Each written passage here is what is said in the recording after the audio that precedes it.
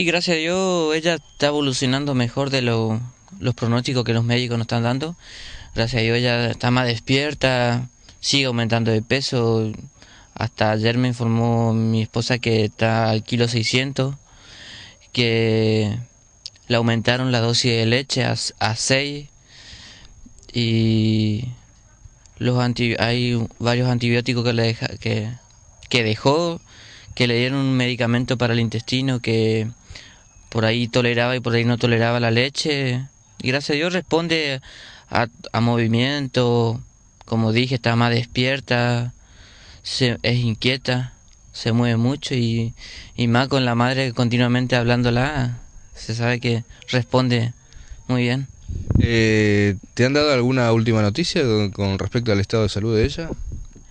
Y a Analia le habían dicho que le hicieron, no sé si una ecografía o algo así, que tenía un, un quiste, no sé, no, en realidad no, no, la, no la hice mucho, no le hice mucho caso a lo que, como dice Analia, nosotros eh, no hacemos caso a lo que ellos dicen, nosotros no, nos guiamos por nuestra visión, por nuestras vistas y, gracias a Dios yo mañana estoy viajando para allá y me, reencuentro otra vez con, con, Luz.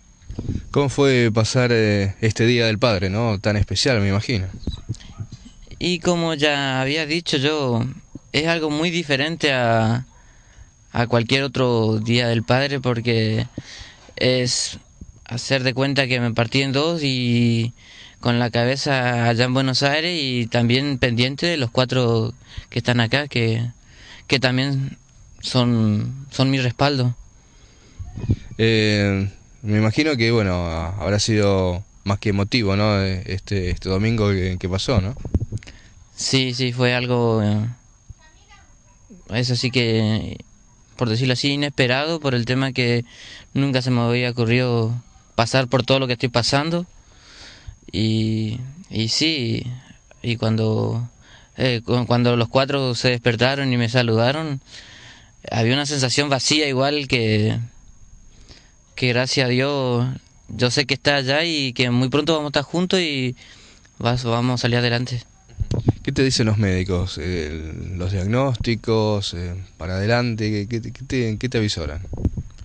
Y última información no tuve porque Analía tampoco no, no es mucho que pide el parte médico, porque, como dije, nos guiamos más por nuestra visión, por nuestro por nuestra vista, por lo que ella hace y, confiando siempre en Dios que todo esto tiene un propósito y que el propósito se va a cumplir allá y que Dios lo va a sacar adelante.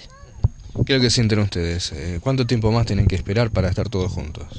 No, nosotros sabemos que tenemos tiene que cumplir ella los nueve meses de, gestación, que sería lo de la vivencia de la panza, y después un mes más esperando su evolución y, siempre pensando en positivo que va a salir adelante ella y que no, no, tengo fecha, no tengo día específico, pero yo sé que pronto va, va a estar de vuelta y con sus hermanos.